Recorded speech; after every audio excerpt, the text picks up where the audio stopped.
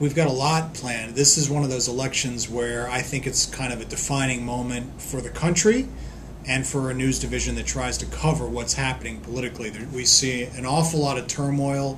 We see incumbents all across the country at every level of government in trouble. Uh, so clearly there's something going on here, and I think the, the mission for the news division between now and then is to capture what's going on, the mood of the country, and then try to put into some perspective. And then on election night, really tally up how big of a seismic shift are we going to see. I don't think there's any question that we're going to see a pretty substantial one.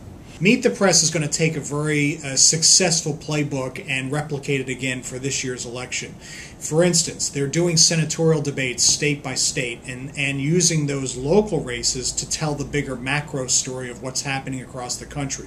We've seen we've done this many years on Meet the Press. It's actually one of the things that people come to expect from Meet the Press. So you're going to see that again uh, this time around.